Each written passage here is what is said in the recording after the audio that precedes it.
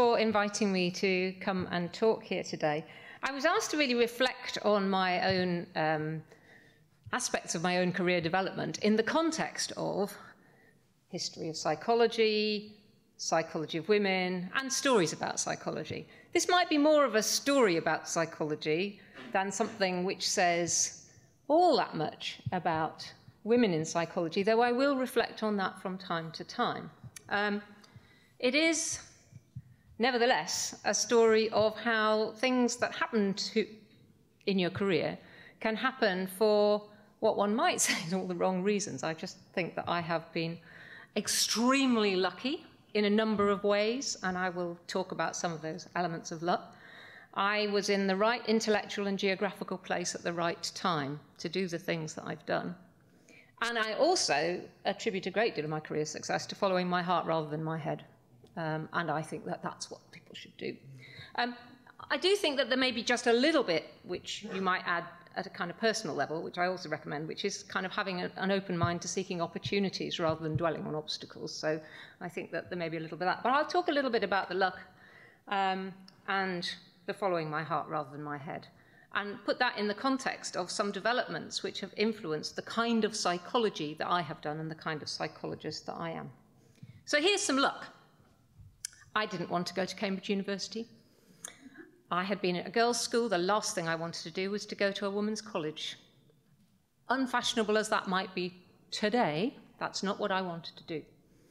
Uh, I wanted to go to a new university, and I had got offers of places at York and Lancaster and other places. But when I won a place at Newnham College, my father handed me a box of chocolates, and under the lid was a five pound note. Now, I am not easily bought. Five pounds in 1970 was a lot of money, and we were not a very wealthy family. And I realized that this was really important for my dad. So I went to Cambridge. Before I went to Cambridge, I finished the gap year, the beginning of which I'd done my Cambridge entrance. Um, they hardly had aeroplanes in those days, so you didn't fly around the world. Uh, I was a computer programmer at Procter & Gamble uh, in Newcastle. I was a, computer programmer when there were scarcely computers. I spent six or seven months of my life trying to program, and interestingly, trying to program analysis of variance statistical programs to analyze the, the things that made a difference to the, the height of suds as a result of the different ingredients in washing powder. the computer that I programmed filled a room nearly as big as this, and it had a total of 16K of storage. You can imagine the things that I learned about information processing constraints before I ever went off to study science at Cambridge, at which I was hopeless. So I went off to be a chemist, and I did so badly in my first year in all the subjects that I was supposed to be studying that I had to find some different subjects in my second year. And I was very lucky to pick up experimental psychology as a second year subject. And experimental psychology in the early 1970s was about human information processing. Well, I knew about information processing because I'd been a computer programmer, and I kind of got it. And I got it, and it got me. And I fell in love with that kind of psychology and have been in love with it ever since. But it was more than the more general approach to psychology that was, in a sense, lucky for me, and that the, the, the information and, and experience I brought to my studenthood. During the 1970s, psychologists were rediscovering the fact that people could remember things visually.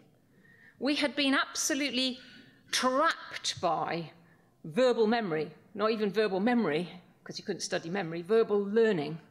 And then all of a sudden, in the 1970s, psychologists began to publish things on the astonishing capacities of visual memory and picture memory. And at the same time, during the 70s, there was a great deal of concern that people who tried to remember faces of people they'd seen commit crimes could make mistakes. And there was a great deal of concern about eyewitness mistaken identification of faces. So we have this beautiful paradox. People are apparently astonishingly good at remembering pictures, and astonish- including pictures of faces, and astonishingly bad at remembering the faces of people who'd done crimes. And there was this paradox, and that kind of opened up a field within which I have worked most of my life. But then there are other things which are kind of lucky that happen to you. The people you meet, and when you meet them. So, probably in the early 80s, I first met Andy Young, an extraordinarily distinguished psychologist who is currently at a meeting down the road where I spent some time this morning, so I, many apologies for not having been here early this morning.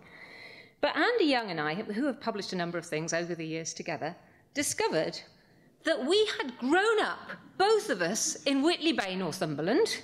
So here's a picture of Andy and me gambling on the beach. we grew up in next door streets, and we used to go to school on the same train. In fact, his sister was uh, at, at my school in my class. Uh, and of course, when we met, I was in Nottingham and he was in Lancaster, but all of a sudden you have this forged um, friendship, you know, shared memories. And I'm sure many of the things we've done together, we've done because actually we quite like meeting in Mark Tony's in Newcastle and, and remembering our shared childhood memories. So there's a lot of things that kind of impact on your uh, career. So more luck in terms of the scientific opportunities that presented themselves and into which I was able to make some uh, contribution, I think. There was this startling paradox in the early 1970s. Faces of good, face recognition is good in the lab, face recognition is bad in the field. But at the same time, there were a number of applied areas beyond the forensic and security, which meant that people, industries, were interested in face processing. So forensic um, applications, security applications, communications applications. Why, well, you know, why isn't a, a smartphone conversation FaceTime the same as face to face? Surgery. Can you simulate surgically the effect of a particular corrective operation on somebody to see how that face perception might change? All sorts of things, which actually have meant there's been funding for work in the field of, of face perception over the uh, the, the time that I've worked on it. But at the same time, technology advances meant we could begin to do, I will call it good science, in a field where you couldn't do very rigorous science when all you could do is to manipulate faces with, with scissors. Um, I can remember when I was started doing my PhD in Cambridge, I stayed in Cambridge doing my PhD, and Alan Baddeley was my supervisor at the Applied Psychology Unit. Eventually, I moved over there. But I can remember talking to Fergus Campbell, the most distinguished fellow of the Royal Society physiologist, in the uh, Downing Street building, and he was asking me what I was doing my PhD on, and I said I was working on face perception. This was at a time when people who worked on visual perception often worked on gratings, very, very simple patterns. And he listened attentively and patiently, and he said, "Well, Vicki, I can't, I can't uh, copy the accent. Uh, the face is very interesting, but I don't think you can do a whole PhD on it. so it was a time when people were not working on natural uh, pictures and images very much in a scientific way. But the technology advances that, that came in at the same time allowed us to do much better experiments on face perception. Um, and then I will talk about some of the personal and uh, career uh, peer networks. But you know, actually, you can do some interesting things with scissors. Um, most people here will have seen this. Um, but if you look at this picture of Margaret Thatcher, it just looks like Margaret Thatcher upside down. If you turn it the right way up, you'll see that actually that is an image of Margaret Thatcher to which somebody has taken pair of scissors, and somebody was Peter Thompson. Now, what it was that took Peter Thompson in the late 1970s to take a pair of scissors to a picture of Margaret Thatcher on a Friday afternoon in his laboratory, one can only speculate.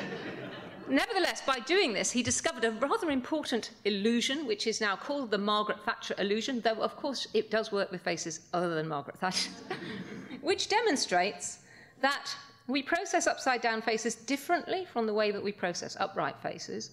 There is something in the way that we process upright faces which puts together the different parts of the face. We process them as wholes or as um, global configurations. Turn a face upside down, and we see things much more in parts. So if you turn that, that version of Margaret Thatcher upside down, actually what you've got is perfectly good Margaret Thatcher eyes, perfectly good Mar Margaret Thatcher mouth, perfectly good Margaret Thatcher hairstyle, and your brain just says, oh, that's Margaret Thatcher. Because what, what the brain can't do with the upside down face is to see that those things are not configured correctly. So you could do interesting things with scissors, but you could do much more interesting things once you could begin to do um, computer-based manipulations of faces. And these slides, as with all clever slides, are produced by other people. These slides are produced by Peter Hancock, with whom I've, I've worked um, uh, um, many years in Stirling. And this is showing how you can morph images of faces. Um, this is Peter Hancock's face. This is Robson Green. Um, and this morphing technology, which everybody can do now, you know, you've all got, most people have got morphing softwares and you can all do it, but the morphing software technology was developed by Dave Perrett and others at St Andrews as part of a collaborative program of, of work that I was involved with, though not on the computing side, in the 1980s. Um, and it's good fun, as long as you mark up the same points on different faces that you want to average together, so you don't try to average together Peter Hancock's nose with Robson Green's mouth. So you need to have coincident points. And then you can come up with the average location of those coincident points. So this is the average, uh, the average nose length of those two faces. And then, of course, that's not a very good face. So you need to carry the texture with you. So you do that by joining these points and having little triangles. And there is the average little bit of forehead between those two faces. And then you do this. Oops, sorry. So now we've got something which is halfway in between Peter Hancock, as he then was, and Robson Green, as he was then. And if you're not absolutely sure that that's the average of those two faces, note at that time the untroubled brow of the contemporary academic and the worry that is writ all over the forehead of the person trying to make a, a living in the media. And now you've got an, a kind of half worried brow there. So once you've done that, you can actually, if you want, you can have a nice morphed sequence. So you can have your Hancock with a touch of Robson Green, or your Robson Green with a touch of Hancock, and you can produce very precisely controlled variations in faces. Now, when I did my PhD, I was desperate to be able to find faces for scientific reasons that were like halfway in between Harold Wilson's face and Edward Heath's face. I couldn't do it then. You, you couldn't do it. But you could begin to do these things once you had this morphing technology. And then you could do all sorts of things on the perception of uh, the gender of faces, the perception of identity of faces, the perception of expressions, which involve these very precise manipulations. And many of the people with whom I have collaborated, and many people with whom I haven't collaborated, have done some really excellent uh, work on the perception of faces using these kinds of computer graphic techniques. So you could begin to do much more precise scientific manipulations of the images of faces once you had computers that were a lot bigger and cleverer than the 16K computer that I was programming in 1971. But the people are just as important in terms of your uh, individual development. And we had a really strong faces communi community in the early to late 1980s. I guess the particular group that I'm going to identify now probably worked together directly for about 10 years, but it was the 80s that was most important. And this group um, was quite an interesting group. We, we all got a program grant together uh, where we had different projects at different universities, so hence the people I'm particularly um, noting here. Hadyn Ellis, uh, Cardiff, sadly no longer with us, a terrible, terrible uh, loss. We were very, very sorry when our friend died uh, a few years ago now. And Young, aforementioned, Andy Ellis, both at Lancaster at the time, Dave Perrett and his group, uh, St Andrews, uh, myself and uh, other, at the time, more junior uh, people working with me at Nottingham, uh, Ian Craw at Aberdeen. So this particular set of people who are named here, we, we had this, this group of projects um, jointly funded from, from the ESRC. Now, in the 1980s, we were all 30-something. Interestingly, we weren't directly competing with each other for promotion or advancement, and I think that's one of the things that made collaborating very, very straightforward. Um, we all ended up doing very nicely. Um, now, interestingly, of this set of people, there weren't any other women. Of course, this talk got me thinking about this. That was rather common at that time, um, and I'm going to touch on it in a moment. But I just want to say, as well as the fact that we were all at a particular junior stage in our career working on something where there were some fantastic scientific and applied opportunities and contexts, so it was a great field to be getting in, in with.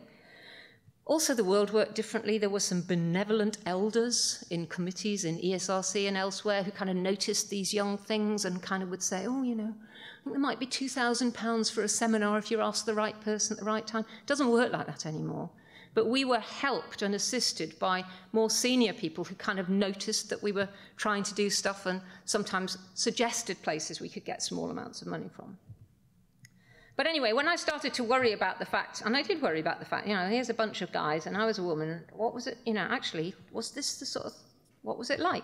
Actually, this was the first ESRC work funded workshop on face recognition at Grange over Sands, and anybody who knows the faces field knows the significance of the Grange meetings, and those who don't don't need to be bored by that.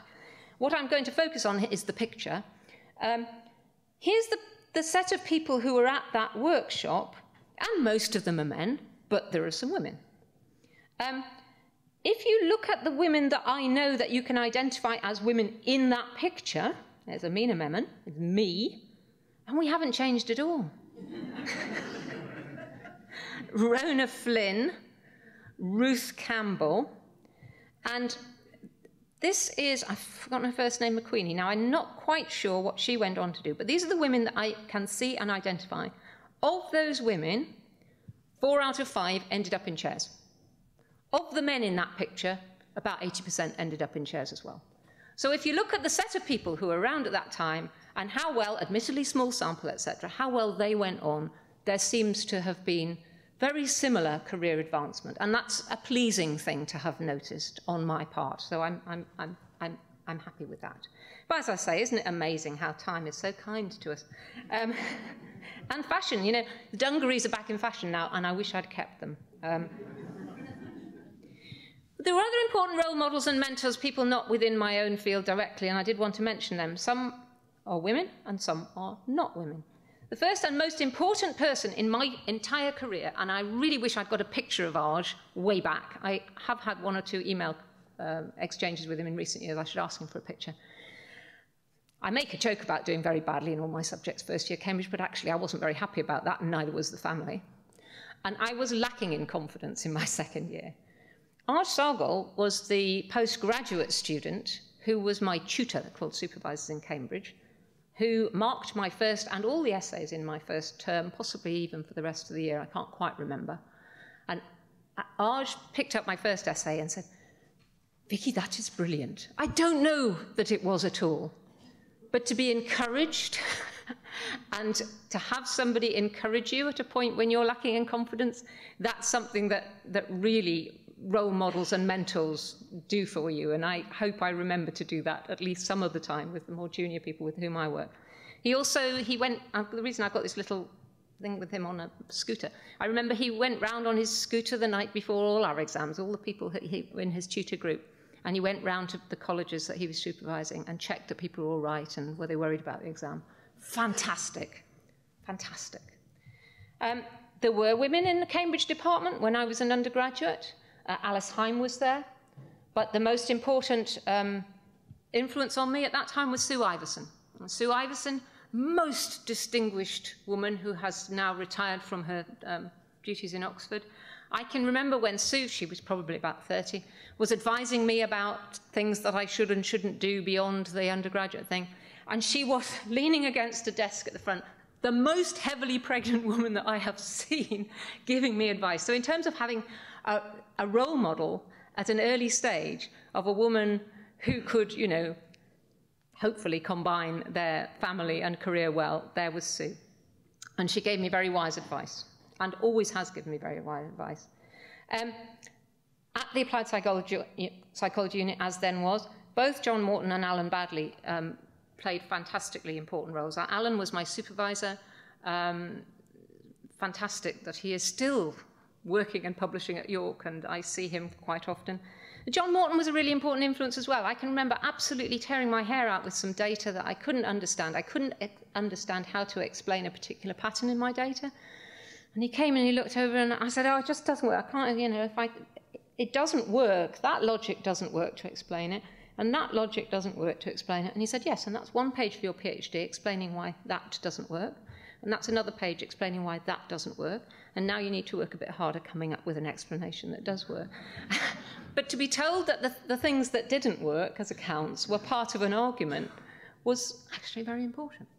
But then when I was later in my career and I was beginning to be invited onto um, research funding bodies, I spent some time on the grants committee uh, when it was chaired by Gillian Brown, and some time on the MRC Neurosciences Board when it was chaired by Ingrid Allen.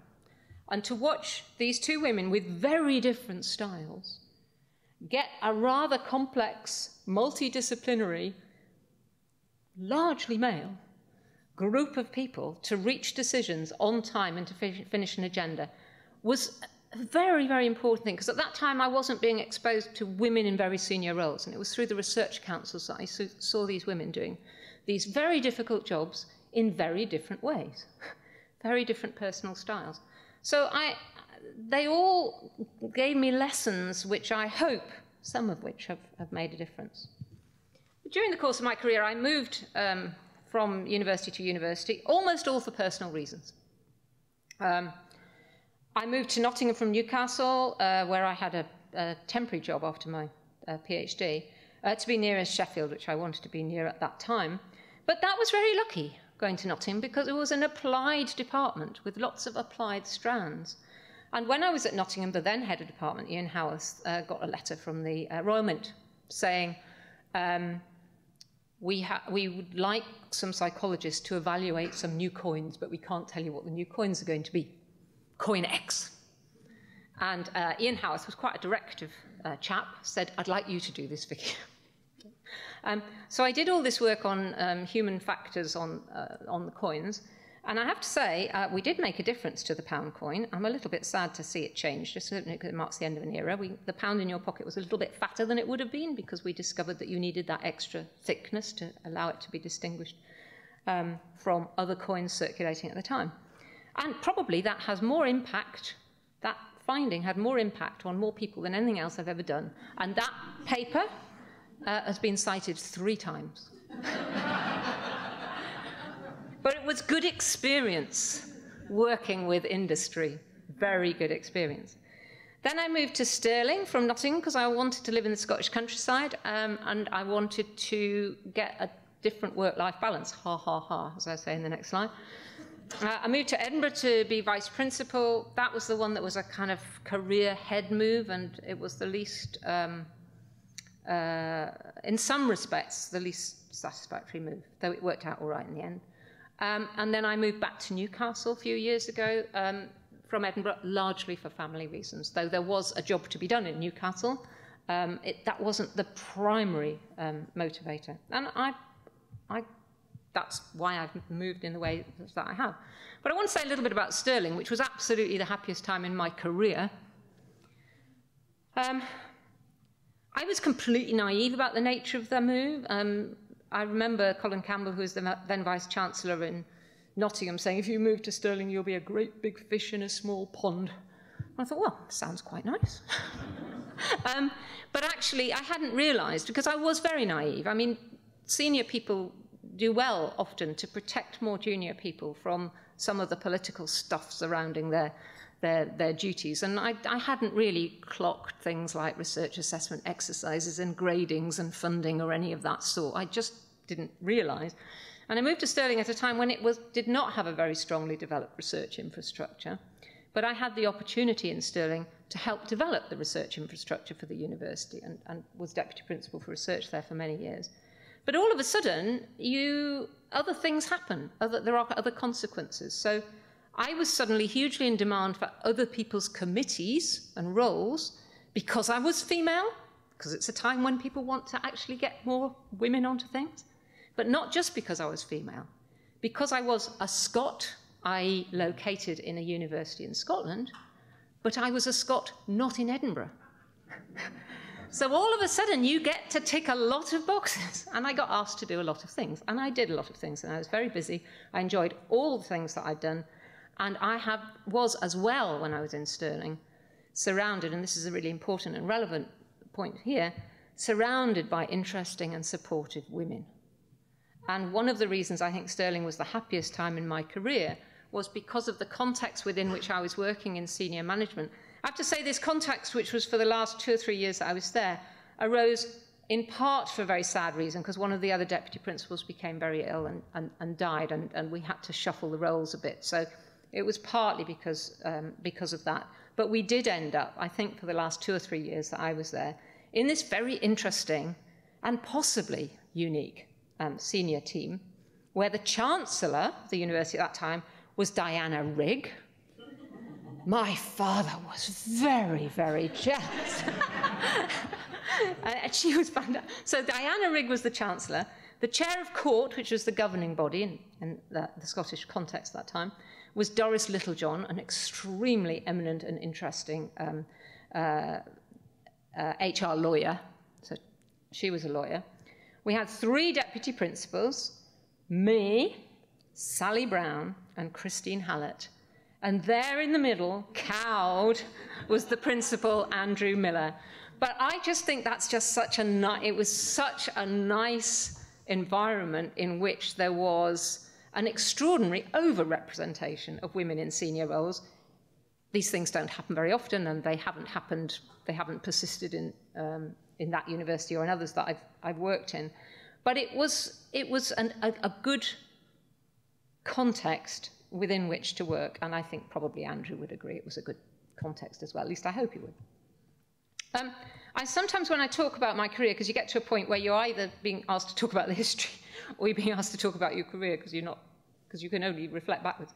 I sometimes am asked, yeah, but have you done the stuff, stuff you've done only because you know you haven't had any children? No, I haven't had any children, um, but I, I have worked with and am friendly with a number of very senior women who have had children. And I absolutely now, I'm delighted that, that women um, can succeed and go all the way to, in, to the top in, in, in our discipline, despite carrying with them quite um, uh, significant um, uh, parenting responsibilities. So um, these are friends of mine and um, peer role models, and I have I could have produced many more, but those are three particular uh, particular close examples.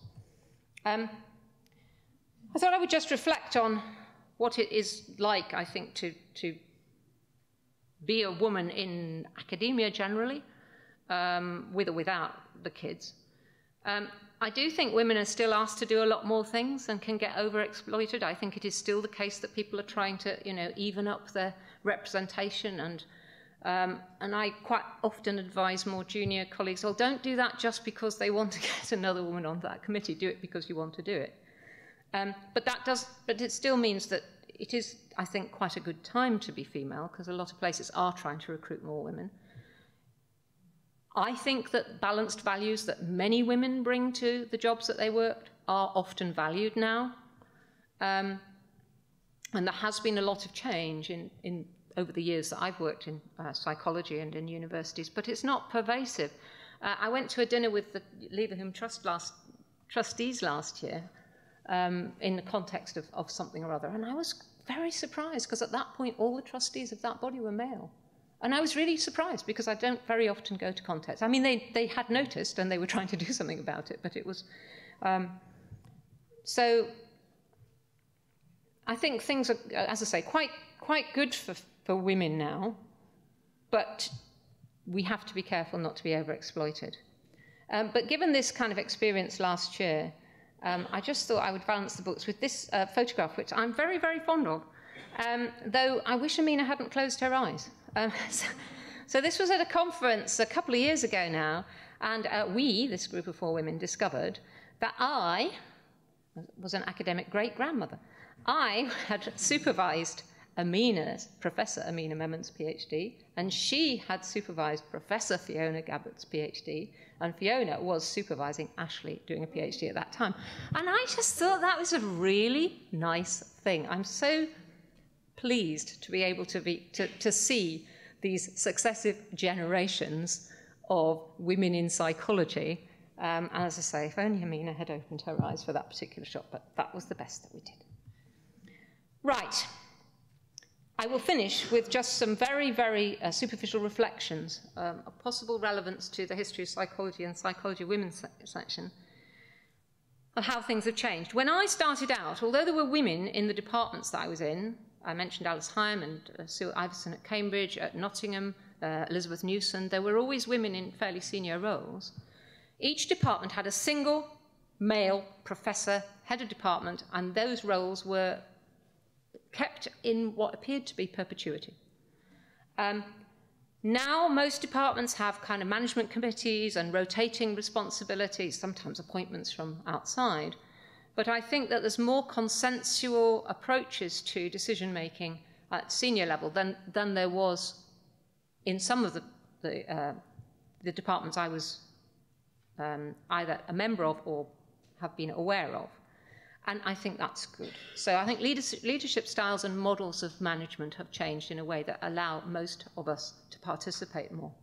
However, women are still overrepresented in some roles in universities, for example, as directors of teaching, PVCs for teaching, and completely underrepresented in other words, for example, PVCs for research.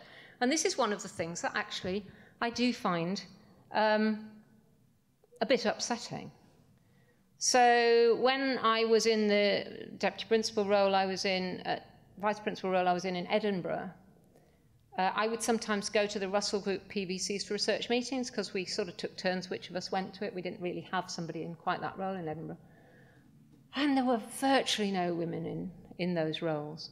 And, and that worries me because it means that perhaps some of the things that Jan was talking about and others have talked about in terms of you know, valuing broad, broader and different approaches to research and styles of research and things are not getting reflected necessarily in some of the, uh, the leadership of research. So that worries me a little bit. In psychology as a discipline, my interests in face recognition, face perception, sit in the middle of a sort of span between vision science on the one hand and things more to do with social cognition on the other hand. And when I go to experimental psychology meetings as well, there, there are kind of communities who work more on vision and others who work more on things like language sciences. It is quite noticeable to me that there are different still intellectual styles in different subdisciplines, and some attract more women than others. And um, certainly if I go to a vision sciences meeting, which I don't tend to, it has a very different feel from when I go to a more general experimental psychology or social cognition meeting. So there are still sort of different uh, different areas of the discipline within which women either select to work more or flourish more. I don't know which. Um, but finally, back to serendipity, I, I was really lucky to study psychology when I did, with the background that I did. And it was a very good time to be a woman. Um, so I, I sort of end by just uh, saying I hope you all I hope you all have the same kinds of luck and opportunity in your careers that I have had in mine. Thank you.